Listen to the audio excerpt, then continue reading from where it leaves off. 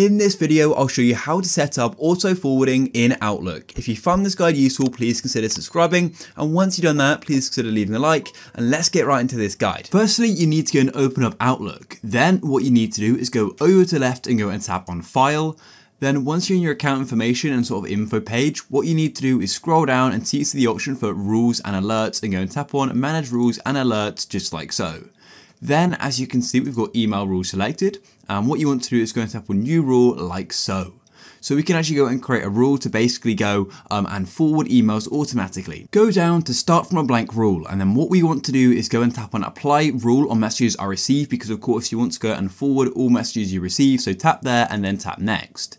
Then it's going to go and ask you to go and select some conditions. In this case, we don't actually need any conditions, so just go and tap next like so, and it says this rule will be applied to every message you receive. Is this correct? Tap yes. Then what you need to do is go and look for the option which is redirected to people or public groups, so tap there like so. Once you've selected that, as you can see, part of this is underlined, people or public groups, so tap on that there, and then what we can do is go and choose uh, who you want to go and forward it to. So in this case, I'm going to go and type in my email. So I'm going to come down here, tap in this box and then type in the email, which I want the emails to be forwarded to. I'm then to type the email in. So I'll just go and tap OK like so. And as you can see, it now says redirect it to this email here, then tap next. And then you can go and choose some exceptions if you'd like. And then you can go and tap on next, name this rule if you'd like as well. And then you can go and tap on finish and then you can tap apply and it's going to go and apply it and wait for it to load and then you can go and tap OK. And now when you go and get an, any email, it's going to be forwarded to that email there.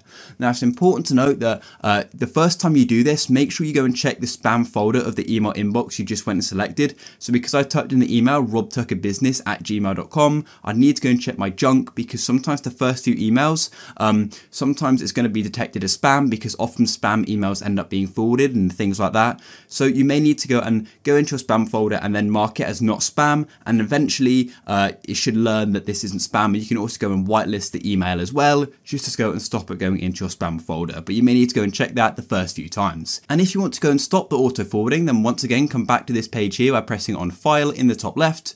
Then you can tap on manage rules and alerts and here it is. And then what you can do is go and unselect it like so and then press apply. And if you want to, you could also go and delete it as well by clicking on it and then pressing on delete like this. And that's going to go and delete it as well. Then you can go and press apply and that's it. If you guys found this video useful, leave a like. Peace.